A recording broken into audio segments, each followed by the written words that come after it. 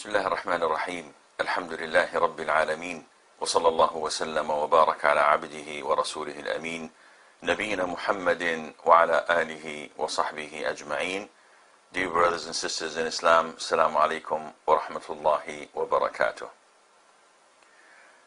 The holy month, the noble month of Ramadan is a season. Whoever neglects it is among those who are doomed by Allah Azza wa.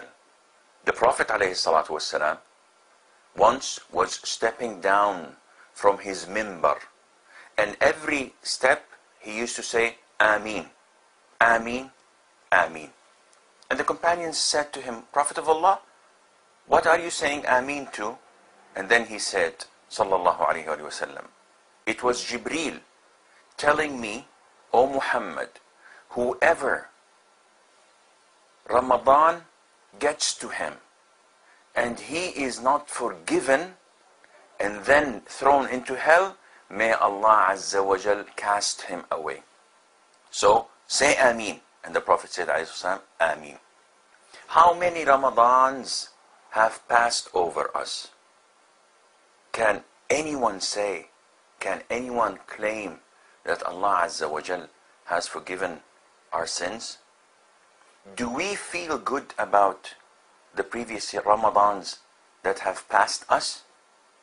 Well, let's not talk about the past and let's talk about the present time. This is a season. This is a moment that we should seize. We should do our best to get closer to Allah Azza wa Jal.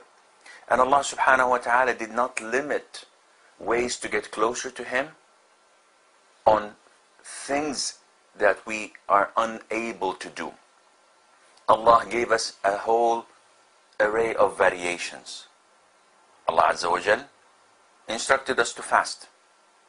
And He gave us the glad tidings that whoever fasts the month of Ramadan, believing in its obligation and anticipating for the reward from Allah Azza wa Jal, Allah, the Almighty, would forgive his previous sins. Not only that, we know that there are eight gates to paradise, to Al-Jannah, and one of them is called Al-Rayyan. Only those who fast will enter from it. So we have to fast. But also, we have to offer a lot of good deeds in Ramadan. There are lots and lots of things to do for you to choose from. And if you are favored by Allah, if you're blessed by Allah, you'll be able to do most or all of them. There is night prayer, known as Taraweeh. And the Prophet ﷺ gave us the glad tiding. He said, Whoever prays with the Imam until he concludes his night prayer, Allah would rec- record for him the reward of a whole night. As if you prayed from Isha until Fajr. So if you pray with your Imam for an hour, top two hours, Allah Azza wa would give you the reward of a whole night. Not only that, if you do this every single night, the Prophet ﷺ tells us again, whoever prays Ramadan, that is night prayer in Ramadan, the whole of Ramadan, Allah Azza wa Jal would forgive his previous sins, providing that he has done this believing in the reward and anticipating of it. 30 days, some people say this is a lot. Allah Azza wa Jal is asking us, not only that, He's facilitating to us to get closer to Him. Allah says to His Prophet والسلام, and the Prophet ﷺ informed us that if you offer night prayer in Laylatul Qadr, the night of decree, which is one of the nights of the last 10 nights of Ramadan. If you pray that night, Allah would forgive all of your previous sins.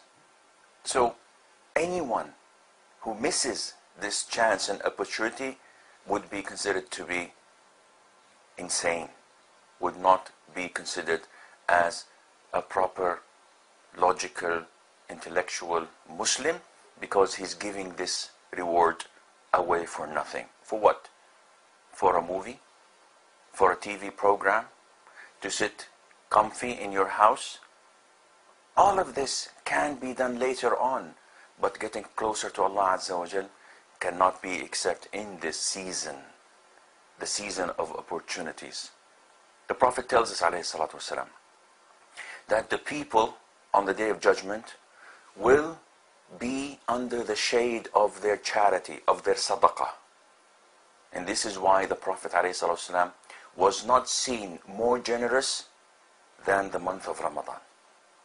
So it is an opportunity for those who cannot pray night prayer to give generously for the cause of Allah, to help the poor, to help the needy, to feed the hungry, to assist in giving da'wah to the Muslims and to the non-Muslims, to build the mosques and the Islamic centers so that we can spread the word of Allah.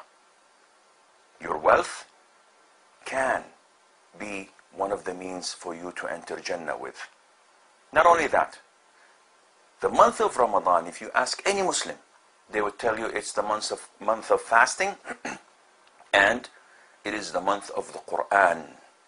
So this month, dedicated to recite the Quran, to memorize the Quran, to understand the meaning of the things that you're reciting and reading, because you will not get closer to Allah better than what Allah Azza has revealed to us.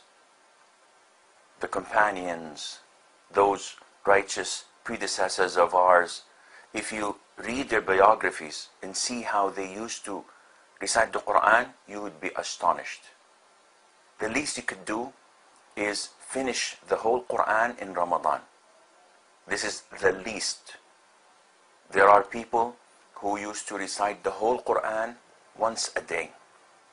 Uthman ibn Affan, may Allah be pleased with him, prayed the whole Quran in one rak'ah, one witr rak'ah, from Isha until Fajr prayer, near the Kaaba.